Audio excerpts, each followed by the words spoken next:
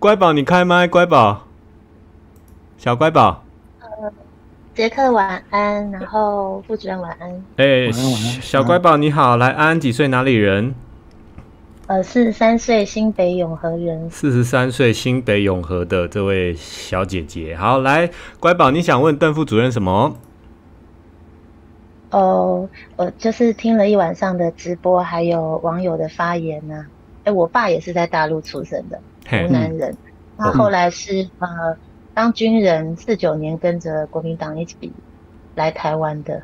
嗯嗯，只是我很小的时候他就过世了。好，这个是题外话。嗯，嗯，我觉得我一整晚听到副主任讲好多次“左右逢源”这四个字，可是您又说美中关系不好就不好，就是这感觉好像就是不是台湾任一个政党可以解决的这样子。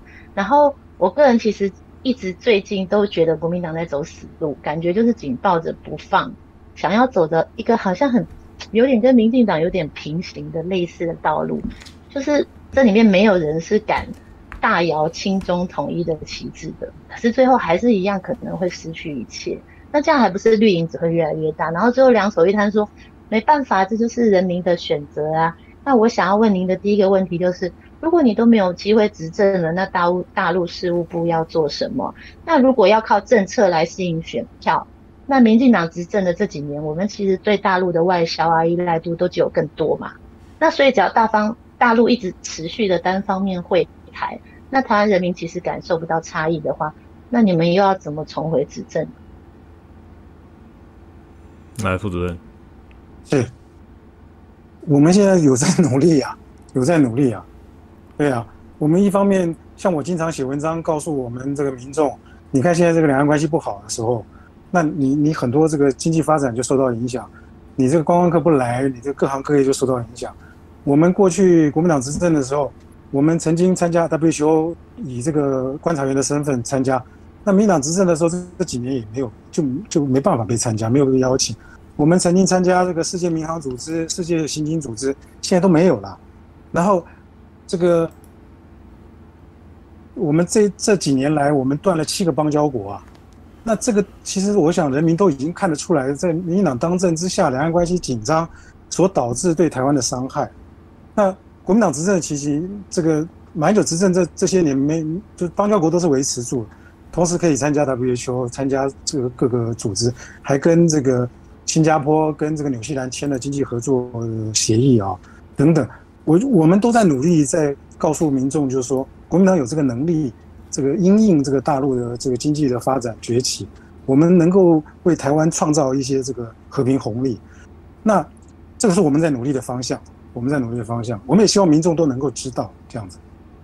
哎，不好意思，副主任，因为我那个才疏学浅，接触不多。如果我们调了几个邦交国，您刚刚说八个嘛，对不对？七个七个七个，啊，七个我们调了这七个邦交国，对我们台湾有怎么样很大的损失呢？那现在我们就剩了十几个、十五个嘞。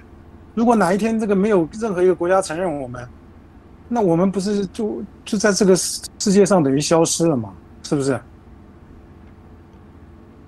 那过去我们参加 WHO，我们可以拿到每年那个流感病毒的样本，我们都可以拿到，我们可以及时的做一些这个流感疫苗。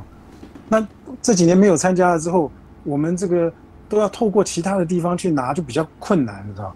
那对于我们这个人民的健康也会受到一些呃影响，等等。其实这个影响很多啦，影响很多，对啊。好，我大概了解了。然后我还想问您，就是因为我刚刚很感动哦，听到您说您个人的意向或是贵党就是是和平统一的啦，长期是和平统一，就希望统一的，对不对？我刚刚有听到。依照中华民国宪法这六条文跟那个两岸人民关系条例，我觉得依法来，做我，知道。依法来做那。我想问，就是因为呃，像我真的是支持统一的。我想问，就是二零一六年之前八年的时间，呃，就是国民党执政的时候，为什么也是没有跟大陆谈统一呀、那现在说我们要体谅什么？我觉得也是，就是八年的时间，难道不够谈吗？掌权的时候也根本就没有谈啊，也是不敢行动，也是怕可能行动就没有选票啊，所以你们也不希望大陆统治台湾。而你刚刚讲的统一是台湾去统治大陆吗？我常常会跟我的朋友讲，我说一九四九年两岸分隔海分治，那一九八七年等于说过了四十年之后，大家才初步的这个开放交流啊。那我觉得经过这么多年的隔阂哈，其实很多东西是不一样的。我跟你举例啊，我们在在谈判的时候，在协商的时候，我们连中文字有时候都不一样啊。就像大陆讲这个这个电脑，它叫计算机，我们叫电脑，对不对？大陆很多用语都跟我们不一样，所以光这方面的协调就花了很多的时间了。所以这个双方在经过长时间隔阂之后，真的要增进互相的了解啊，互相的尊重，是需要花时间去处理这个事情。我举个例子啊，我们海基海协两会刚开始恢复协商的时候，双方其实并不是那么信任的，所以那个双方领导人谁站右边谁在左边也吵了半天了，也争了半天。因为中国人自古是右边为大，所以但是经过了交流，双方这个互相尊重了之后，就变成地主在地主的主办方站右边，然后这个客客方就站左边，这也是经过协调才来的哦。所以好奇，你会觉得这是这是细节问题还是关键的问题呢？这是有没有互信？对，有没有互信的问题？没关系，你的意思我大概知道，因为我怕有些跟前面重复。对，我就讲，这个双方要真的建立互信，这个是一定要有一个过程，不是说八年，就是就是短时间一触可及的哦。我们经过这样子的协商，才知道，就是说其实真的要增进双方互信，那真的是要付出很大的努力。然后双方真的要有互信之后啊，谈事情就会比较方便，哦。啊，然后其实我觉得，就是我觉得我们立场应该是。不能算完全一致啦，可是因为我也是不支持现在台湾的执政党，我觉得这一块应该跟他是一样的。但是我觉得我永远听到常常听到国党的人就是会说，民进党就是会比国民党会选举啊，就这样啊，然后台湾就被这些人玩弄啊，国民党感觉就只会找理由说这情况真不能怪我，因为都是选民害的，选民不相信国民党啊，哎，我们没有办法换了政权，我现在没有在台上，民主制度就是这样。可是我觉得从政人不是应该有一些理想，就是政治诉求跟理想到底在哪里？像我没有从政啊，我们只是一个平凡人而已，我们发言都觉得有点危险的那种。但我心里觉得谁支持统一，我就投谁。也许可能你们在你眼里觉得啊，这只不过可能只是五趴的台湾民意而已。但是我认为可能大家都低估了，低估了自己，也低估了人民的力量。不然我们这些发声的台湾人是为什么？嗯，我。觉得听到如果我们下台了，所以没办法，是觉得会有点遗憾的。如果毛泽东当初也这样想，会有新中国吗？那大家是会感觉说，哎，政治人物都是独善其身，可是却举着公众的利益大旗，那反而会觉得很恶心。我们当然都是没有位置的人，我们就是百姓人民而已。可是我们都愿意勇敢发声了，从政的人难道还要两手一摊吗？就是有些话我们听起来真的觉得有点像官腔，像您刚刚一直说两岸关系紧张。那请问，如果要不紧张，国民党的两岸政策规划是要拥抱统一，还是继续紧张？或是你会真的真心的觉得您刚刚讲的就是表面上的和平，或是重回一些，就好像我们去打奥运这样，以中华台北的名义重回一些国际的组织，就很好了。嗯，这就符合我们的人民的中长期，甚至更长远，下一代、下下一代的。利益呢？为什么需要领导？为什么选出有智慧的领导这么重要？因为我觉得民主就是建立在人民是有智慧的这个前提上。可是事实上是吗？事实上就不是啊！大部分都是凭感觉，就投票给一个根本不了解他的人呢。那您刚刚也有，就是你们讨论也有说到说，我们现在媒体啊、教育啊、特纲啊，都被执政党掌握了吗？嗯，那未来怎么办？好，那个那个乖宝时对时间关系，我们让让让副主任回应一下，好不好？好，谢谢谢谢乖宝，来副主任您回应一下。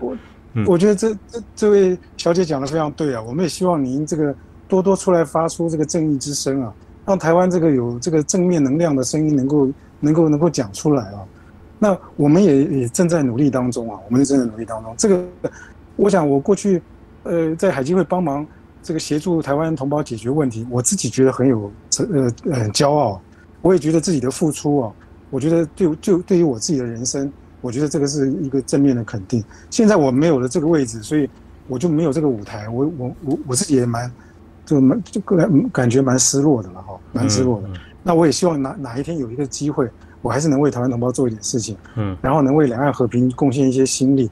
我觉得这是我我这个自己人生规划，我觉得我愿意去做的事情，我我愿意去做，邓你愿意努力了。邓邓副主任，您今天愿意来上我节目，然后来呃花这么多时间来跟网网友来互相沟通这样 Q&A，我觉得你就是就是在尽你一份心力了，我真的很感动。今天不管不管大家同意与否，但是这个沟通的过程，我觉得就是一种往前迈进的一步了。哦，嗯，好，那那个乖宝，那那就这样好不好？啊。我们让下一个发言，好不好？谢谢啊！以后多给我们，多给我们测，多给我们鞭策。好，然后多多多利用各种管道发出一些正义之声。谢谢你啊！谢谢，好，谢谢，谢谢，谢谢乖宝。加油，谢谢。好，谢谢乖宝，拜拜。好，来，我来，谢谢，来读一下留言呢。嗯，Raymond C 灵魂的疑问：中华民国建立是为了服务中华民族，中华民国已经成为中华民族复兴的绊脚石。这是选择题啊，很简单。嗯，就是我，就是很多对岸的网友觉得我们现在是在成为中华民族伟大复兴的绊脚石，因为我们现在是帮着美国去反中，这种讲法，你觉得这个讲法怎么样，副主任？那这现在因为是民进党当政，我觉得可能民进党这个亲美亲的比较过头了啊，比较过头。那过去我们这个在台湾的中华民族啊，嗯，我们很努力的帮大陆复兴啊，嗯，我就常常讲，我们从一九八九年在大陆发生天安门事件之后，所有的外商都撤出大陆，嗯，就只有台商进入大陆啊，嗯，所以我刚刚跟您报告过，你看，在一个昆山有百分之十五十以上的企业是台商，哎，对，雇佣了六十个。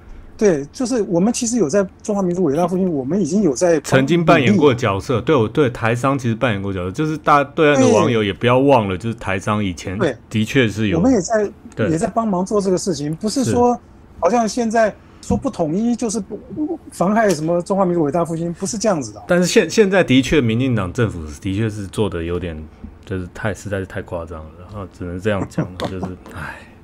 好了，来，对，好来，Raymond C 啊，抛开宪法，请问贵党内有人希望统一吗？有啊，邓主任不是说了吗？来，J 望借着乖宝的话题，想要邓主任说一下，国民党最近输了几次后，很多蓝营中高层和名嘴羡慕绿营，想要模仿民进党的路线抢选票。齐白石说过：“学我者生，向我者死。”国民党也是如此啊。国民党现在有要学民进党的这个路线吗？我相信你们有路线之争啊，你方便讲这一块吗？嗯，这个因为国民党这个内部的人很多，因为包含的人非常多，对，所以各个有各个的想法，所以我觉得这个很正常。嗯嗯嗯，那所以主流路线像还是像副主任你这。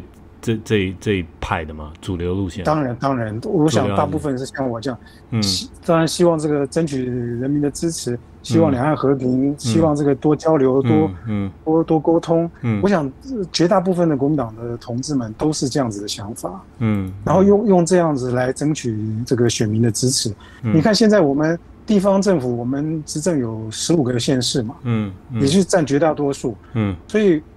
一方面，我们透过县市政府的服务政绩，让这个台湾同胞知道说啊，我们国民党执政执政的县市，我们有真的是提供给大家很多的这个帮助啊，协助，让大家能够安居乐业。嗯，那一方面，我们也希望说大家能够团结起来。如果说我们执政的县市所拿的选票都能够变成这个真正大选的时候的选票，我相信，我相信就是二零二四年我们还是有机会的。这也就是为什么今年这个现在。确定又要就是那个党主席又要选，对。现在为什么很多人就愿意出来选？他们认为说，最近民进党的执政，包括这个防疫，包括这个莱猪，包括一些这个事情，其实我我我相信台湾这人民是有智慧，我我知道。但但但副主任容容容小弟我说一句直白的话，是贵党要团结啊。贵党，贵党实在是，唉，就是这样。贵党，拜托团结一点好不好？贵党真的是，我们泛蓝的都看不下去了哦，真的是。好了，你你自己应该，你自己应该知道，贵党内部是不太团结，好不好？好了，嗯，好了，我来们会从我们会从下嗯从下到上要求要团结，嗯，好，来，因为我们在失去执政权这个，你看已经六年多了，嗯，对不对？好多年了，嗯，我们其实这个整个国民党上下其实蛮痛苦的。是啊，这个我们会痛定思痛，真的是痛定思痛。你看党产被被查封了，现在我们连这个下港下一次你起起起起码国会要赢回来了，起码对啊是起码基本的。好，那个邓邓邓副主任，我我我念一下留言，我们接下一位网友好不好？来，那个 A 好 A D Town 这位女士说的好，邓主任，这是灵魂思考，请你好好思考啊。台湾认同中国大陆制度，认同民族统一的，真的有吗？来，这个 Fan Blue。再和郑主任说一句，我常常听到台湾人民反对统一的原因，就是害怕言论要管制，要求民主选举，这些东西一国两制都给了啊。国民党反对一国两制的原因是什么呢？我回答你，就是觉得一国两制不能持续下去，因为看到香港那样子，对，就觉得中共不可信啊、我可以回答你啊、来是这样嘛？对啊，民就台湾民众觉得你承诺的一国两制是可以被打破的，所以不相信你的承诺。台湾民众现在这样想，来，一神 silent 的，无论观点和立场，在这个年代愿意理性交流就很不容易的。谢谢邓副主任，对我也是这样想。来，嗯 AD Tan 郑主任，我是东南亚海外华人，我也认为台湾是给中国拖后腿啊、海外华人有这个感觉。来，医生 silent 的这期的小姐姐各种战力爆表，直飞上海小姐哦，直飞上海来了。好好好，来来 Fan Blue，国民党和台湾人就不怕美国人和大陆达成交易，最后是一国一制，也有可能呢、有没有可能？直接直接、直接中国大陆跟美国就瞧好了，台湾就结束了，有没有这个可能？你觉得？呃过去曾经有很多学者担心，如果说美国跟大陆达成什么协议，把台湾卖掉的话，是有人担心啊。嗯，有可能的。但是，对，但是截至目前为止观察，那个美国的政策还是稳定的，就是三个联合公报跟台湾关系法对，这个方向好像并没有改变。是是这样啦，但是、嗯美国它的历史记录也不是很好。好了好了，来那个我来念一下微信的留言啊，谢谢明，然后谢谢辉，加油，谢谢袁。回国请你吃虾沙县小吃，好谢谢啊。丁来上海请你吃饭，谢谢。好来下一位网友来，直飞上海，直飞上海，你开麦。